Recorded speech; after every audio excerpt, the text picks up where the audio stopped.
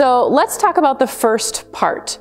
This um, five part system, these are the main things that I've seen over and over again in healing that come up with blocks in the way that things work. And the first is the question, what is the body? So it's this little guy in the center. What is the body really? Um, because when we understand the different parts of the body, we can understand life and healing and how the mind-body connection works. Because otherwise, we're sort of either, we're over here, we're at the whim of our emotions or our experiences, which are true and important for us, but can fall short of helping us to actually figure out what's going on. And then we can get stuck over here, which is a little bit too dogmatic of not really relating to our experience. So when people get stuck over here, they can get a little too, this is like the, where the new age sort of thinking falls short. It's all good, I feel it, so it's true which can really not serve us in some ways. And if you're getting stuck over here, and this is my particular shadow side that I've worked through in life is like, it says it's like this, this is how it is, the sort of like spiritual bypass type of a side.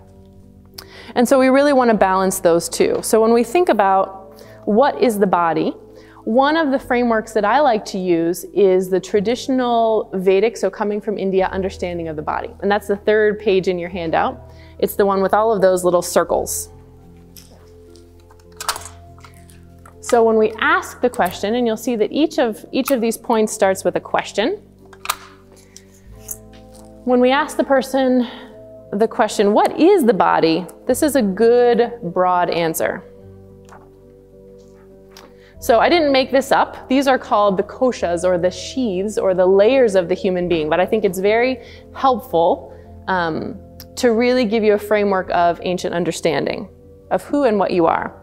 So this uh, diagram are all of the layers of what actually make up a human being. And the first layer, the first circle, is the physical body. These all have Sanskrit names. We're gonna, I'm going to explain them in the more easy to learn term. So the first, the outermost circle, so this is the one that you see the most, is the physical body or the physical layer. Literally in Sanskrit, it's kind of like the food body.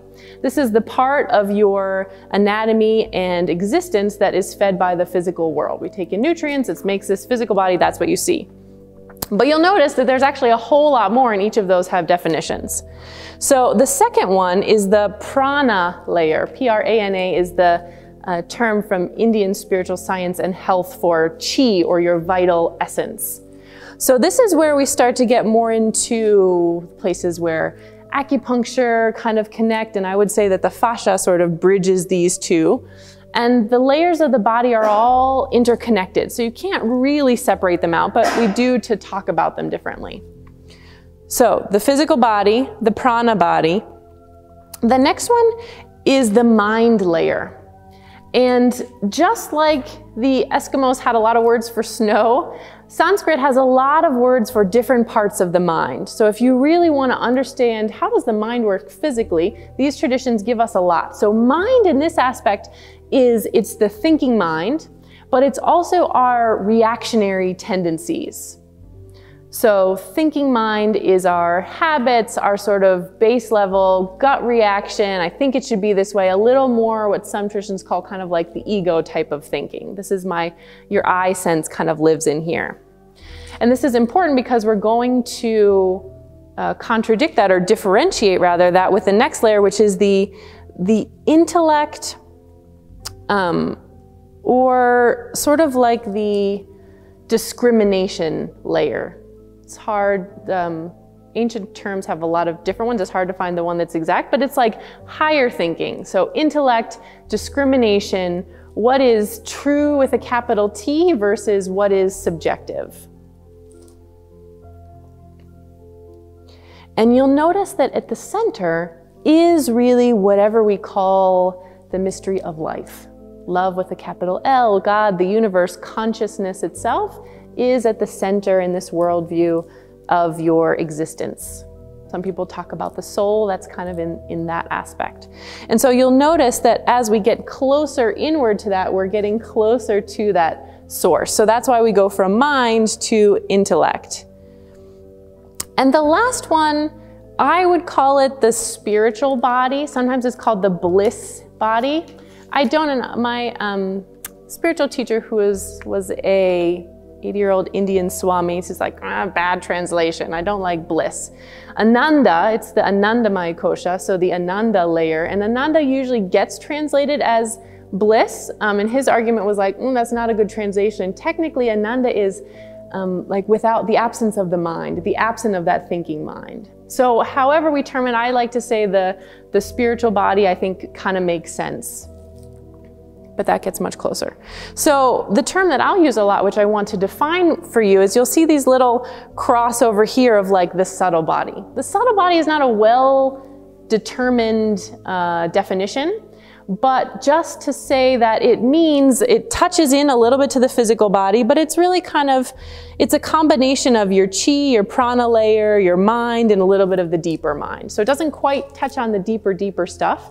Um, but it's also not wholly the physical body. So often I'll talk about the subtle body just to mean the, the whole of the energetic process. And this is important because a lot of places where I see people get stuck is that when something happens to us, maybe it's uh, something someone said or something as a child, or it could be a full on trauma or just a little kink of something that you had a reaction to.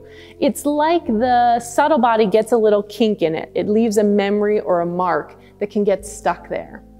And when things are out of whack in the subtle body part of our being, this is where we get stuck. We get unconscious tendencies, we get reactions, sometimes we get physical pain. And the problem is that if it's stuck in this subtle body layer and we only approach it from the thinking mind with traditional therapy, now a lot of somatic therapy really includes more of the body, which is more helpful.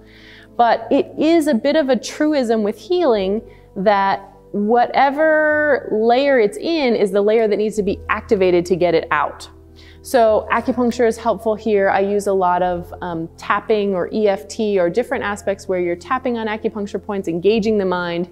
When you engage these layers all at the same time in certain ways, it can really reset the system and let things that have been stuck for a very long time, often people's whole lives, to get out. So this is why I want you to understand the layers of the human being. And this is why we start here in the body wisdom method, because we have to have an idea of how these things are working together.